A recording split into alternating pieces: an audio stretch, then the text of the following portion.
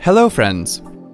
Are you unable to save the messages received in your mailbox on your Mac PC? Let's go ahead and see how you can resolve the issue.